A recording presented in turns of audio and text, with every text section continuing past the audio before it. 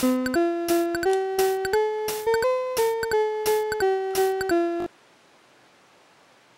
is the ML2. I'd like to show you the progress I've made so far with it, uh, with the initial uh, stage release that I've got at the moment. The ML2 is intended to be a groove box, standalone groove box using the SunVox uh, library as its audio engine.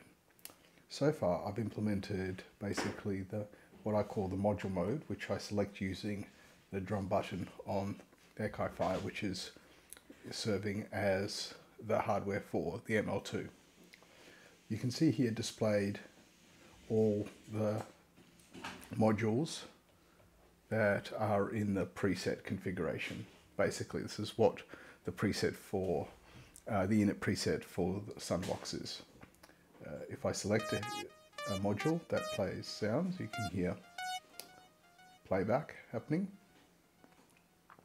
You can also select different uh, properties of the module, the volume, uh, the type, and so forth. We can also create a new module by going to the browser. If you watch this pad here, I can scroll through all the available modules. Let's pick, go back and pick, say, uh, the analog generator, and I press down on the select button to select it. You can see now this new module was added as soon as I did that. As I showed previously, like we can modify, say, the waveform, say square, even like noise, noise. We'll go back to, say, saw.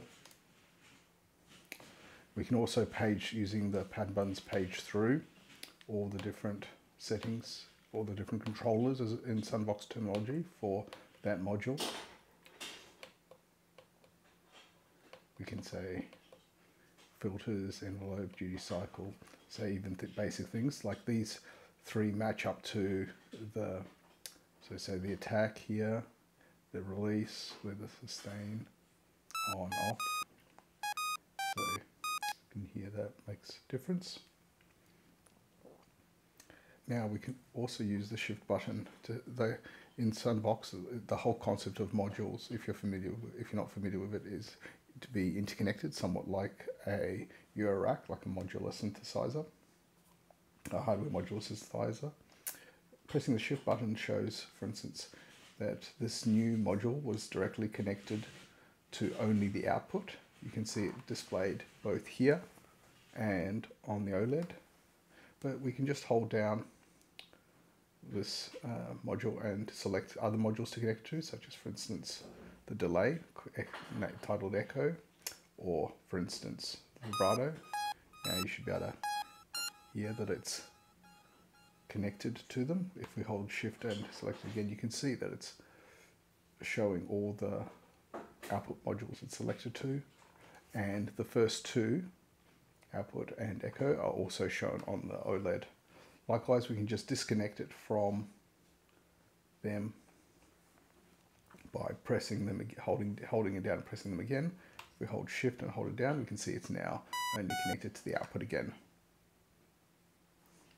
And finally, if we have it selected, we press Alt and the select button to remove it.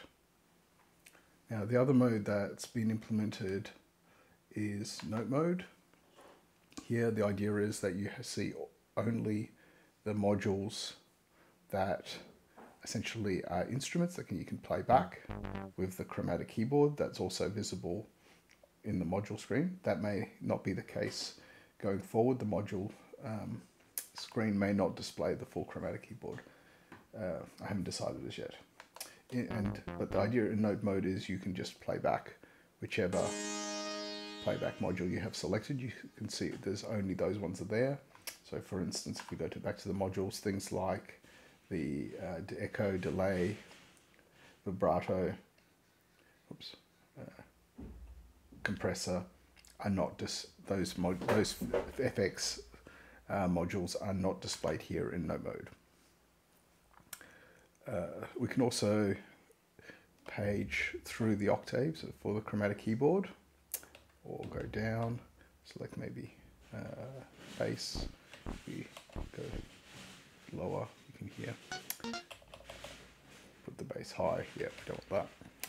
So the, you can use the grid up and down to move the chromatic keyboard through the different octaves.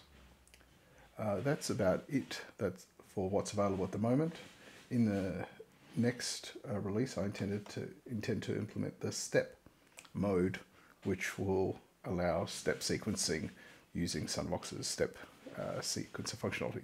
As I mentioned, this is all using libsunvox. Currently, it's running on a laptop, but the intention is to use a custom uh, Raspberry Pi module inside this enclosure to make it fully self-contained. Thank you very much for watching and I hope I'll see you next time for the next demo of the ML2.